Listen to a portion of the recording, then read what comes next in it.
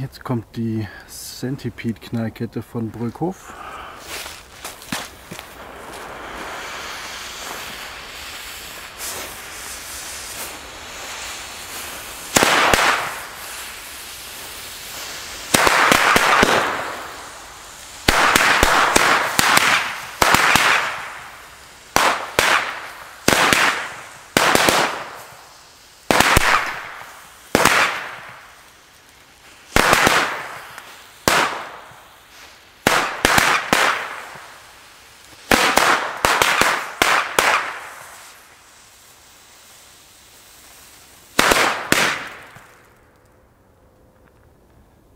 Etwas langsam, aber in der Masse recht laut, macht Spaß.